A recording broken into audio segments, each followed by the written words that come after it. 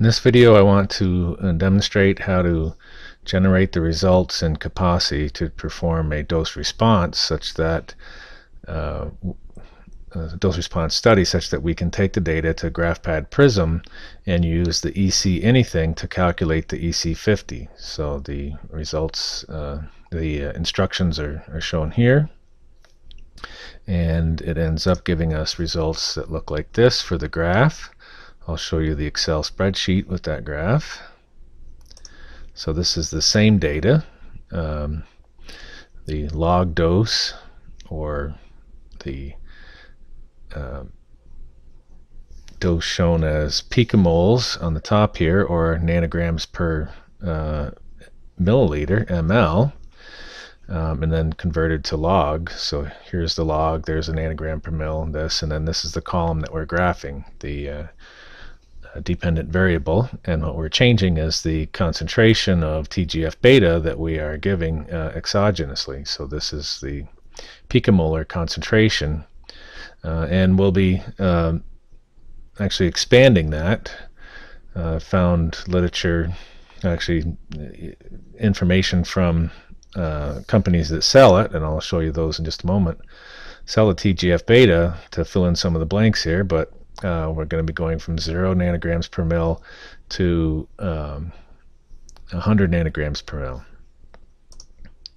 So if we come here to this one, the cell signaling source of TGF, uh, is that the antibody? Oh, I ended up getting the antibody.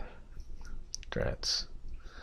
That wasn't what I wanted. Anyway, uh, I've got another one here. this data sheet. So that one that I was just trying to show you, um, I clicked on the antibody instead, but uh, they report a ED50 of 4 to 10 nanograms per ml. Um, when you apply it in the inactive form and 0.2 to point, uh, 0.8 nanograms per ml after acid activation. Uh, that's the uh, latent TGF beta 1. And then the TGF beta 1 that doesn't require the activation has uh, an EC or ED50 of 0.04 to 0.20 uh, nanograms per mil uh, in each lot. So a little bit of vari variation there. And here in this one, you see the ED50 or EC50 uh, by this source's uh, ability to inhibit um, proliferation is 0.05 nanograms per mil. So from a variety of sources like this um, and other ones that actually showed the curve. Let me see what data. Yeah.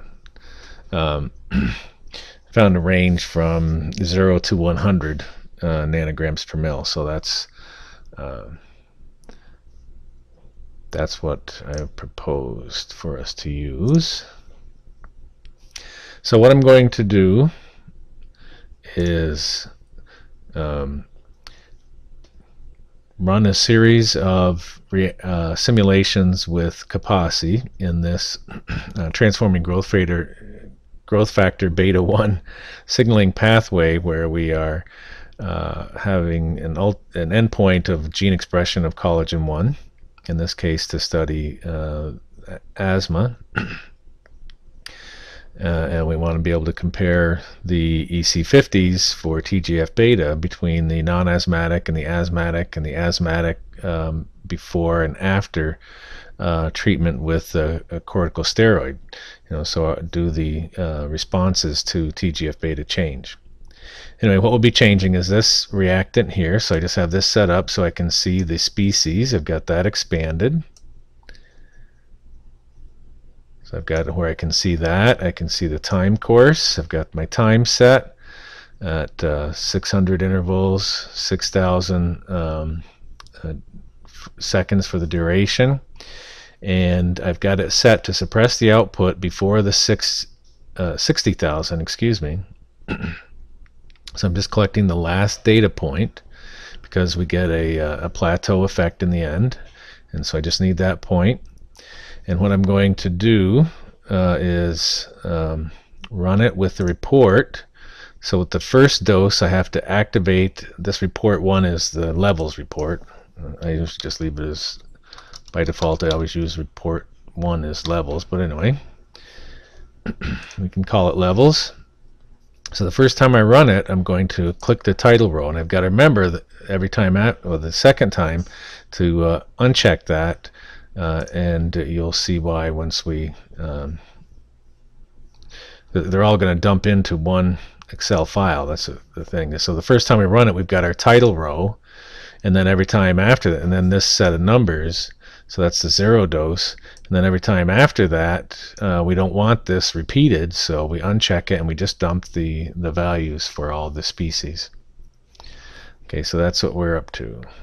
Uh, let's go to our doses. This, I can make this smaller so we can see the doses over there. So here then under the time course, let me get this set so I can see my TGF beta exogenous. I've got it fixed at zero. You can see it's still showing what I had run from the last time, but that changes after the simulation. So this is all that we care about is changing this value here. And then on time course, we've got it all set. And then we go to report and we've got append checked. We don't need to confirm the overwrite. We're running the levels uh, report and then if I click this it'll take us to the the folder in which uh, we have this and I'm running right now the uh, sample the patient ID 144 you can see it up here 144 um, so that's the file name that I've given it the dose response and remember the report when I run it on zero has the um, uh, the check for the column headings. So then uh, I run it. You saw a little circle there, it's done. I'm going to go to my report, levels, uncheck this, and then go back up and exogenous. And now I have to put in, we're, we're running it in picomole, or picomoles. You can see picomole per liter here. So then we go to 0 0.782 commit, time course, run. And then back up here, we need 2.34, 2.34, commit, time course, run. This simulation runs very rapidly, so it's it's a nice one to do it. 2.34, 3.9, especially when there's 116 subjects in this study. Uh, time course, run. We may not run the dose response curve on all of them. So 3.91, 7.82, commit, time course, run. And it's good, I'm just going through it because we're recording, but it's good to go and check your Excel file, open it, your text file, open it in Excel and make sure you're, you're going in sequence 7.82, 23.46, commit, time course, run. And so note after we run, uh, this ends up equal to what we put in. 78.2 commit. Time course. Run. Back to here. 78.2 234.6 234.6 commit, time course, run. I want to get all this in the file so that uh, I'll open it up and show you how to graph it if we still have time. 391.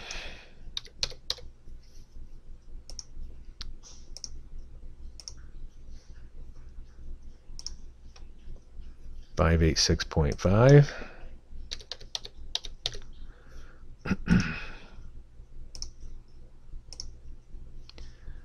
782.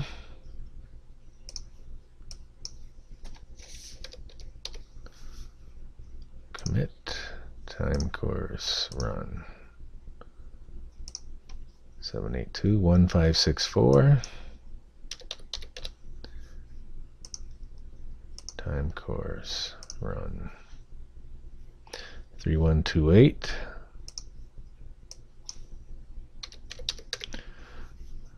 imagine doing a dose curve a dose study like this in vitro or in vivo. Uh, 4692 commit. Time course. Run and then 7820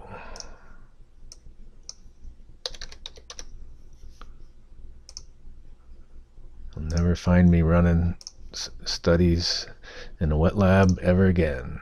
Okay, our dose response is finished. And uh, in the wrong folder. 4302, placebo. Dose response, 424, 424. That's the one we just ran. Everything is set to default. okay, so there's one we had before. I can delete that. I uh, appended to the, the one I had done before. Okay. uh,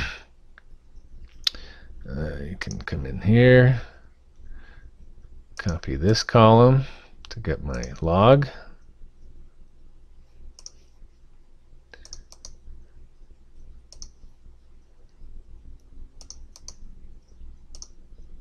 You can see the formulas that I have in there. It's the log 10. Let me just save this as an Excel file.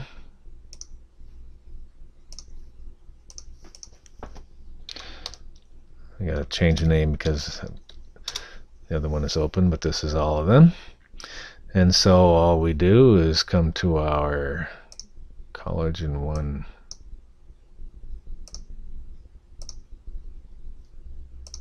here. Do this. Insert. That's a pretty nice graph right there, even without putting it on the select the data. Come here, do the log dose. Let's see, I wonder if it picks up that as the axis title. No, it doesn't. okay.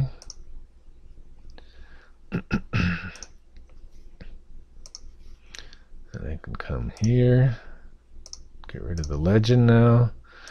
So that's our, our dose response curve. Uh, and this is the log of the dose. Um, if you want to change it, you can just select the data, edit here. You can put in, let's see, there's the TGF beta. This would be for the picomolar dose. And then um, we can come here. Picomolars copy.